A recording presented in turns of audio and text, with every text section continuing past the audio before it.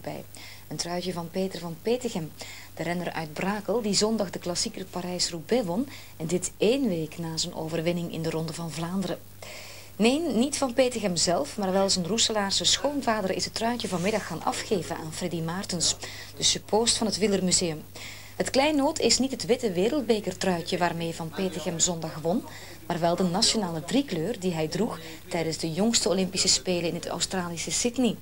Het bovenstukje heeft nu een mooie plaats gekregen tussen de andere bezienswaardigheden in het museum.